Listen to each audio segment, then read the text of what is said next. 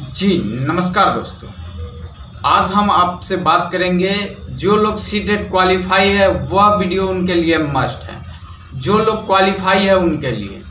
तो हाँ आप लेट मत करिए। आपको एक न्यू अपडेट आया है सी टेट के तरफ़ से।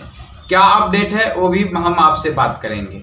तो आप अगर बार बार सी टेट में फेल हो रहे हैं क्वालिफाई नहीं हो रहे हैं तो आप आज ही ज्वाइन करिए के पी सक्सेस सीटेड क्लास, जो कि आपके शहर मुजफ्फरपुर में है। वह आपको सफलता के साथ, गारंटी के साथ तैयारियाँ करा के आपको सफल होने की गारंटी देंगे। और वहाँ हर तरह की सुविधा भी उपलब्ध है आपको। तो अगर आप निराश नहीं हुई, आपके शहर मुजफ्फरपुर में भामा सदवार के निकट है। तो उनका डायरेक्टर किरिंदर सर है, उनसे जाके संपर्क कर लीजिएगा। उनका मोबाइल नंबर डिस्क्रिप्शन बॉक्स में दे देंगे। चलिए, हम आपसे बात करते हैं कि आपका न्यू अपडेट क्या है सीटेट से संबंधित। तो आपका न्यू अपडेट है कि जो लोग सीटेट क्वालिफाई है, उनके लिए मार्कशीट कैसे डाउनलोड करें? तो सी टेट के वेबसाइट पे नहीं जाना है आपको। क्या करना है आपको? गूगल प्ले स्टोर पे जाना है। प्ले स्टोर पर जाना है आपको। अब क्या करना है? डिजी लॉकर ऐप को डाउनलोड करना है। डिजी लॉकर ऐप को डाउनलोड करिएगा, उसके बाद आपका रोल नंबर डालिएगा, डेट ऑफ़ बर्थ डालिएगा, आपका खुलकर आ जाएगा, जो सर्टिफिकेट है। और आप वहाँ से डाउनलोड करके अपना वेरीफाई सर्टिफिकेट ले सकते हैं। और आपको बता दें कि नेक्स्ट सीटेट कब होगा। तो वह साल में एक ही बार परीक्षा को कंडक्ट कराई जा रही थी, क्योंकि उस समय कोरोना चल रहा था। लेकिन इस बार कोरोना के चलते एक बार हुआ।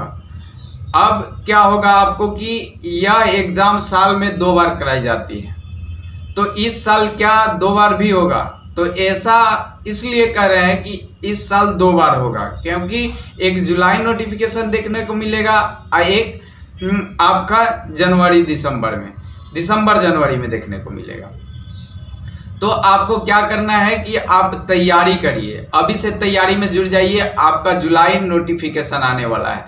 और जो शिक्षक बहाली रहा, वह अभी आपके 24 में आएगा तो जो लोग फेल है, उनके लिए निराश है, लेकिन 24 में नहीं आएगा, इसलिए 25 में आएगा। 24 में कितना भी हल्ला हंगामा कर लीजिए आपका 24 में नहीं आएगा। क्योंकि 25 में विधानसभा का चुनाव है बिहार विधानसभा। तो बिहार विधानसभा तैयारी के लिए हम्म, उन लोग जोरों शोरों पे नौकरी की भरमार देंगे तो वह 25 में मिलेगा आपको। तो आप निराश मत होइए आपको एक वो सीटें देखने को मिलेगा जुलाई वाला। आपने देख लिया कि जिस तरह से सीट ने इतना जल्दीबाजी में काम किया है। बहुत जल्दीबाजी में काम किया है और 28 दिसंबर से आपका एग्ज़ाम था और 28 दिसंबर बाद आपका सात फरवरी को एग्ज़ाम समाप्त हुई। उसके बाद 14 को आंसर की जारी हुआ।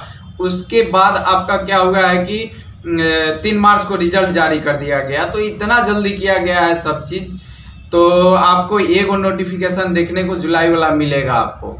तो हमारी खबर कैसी लगी दोस्तों को साथ शेयर कर दीजिए। फिर नेक्स्ट खबर के साथ धन्यवाद।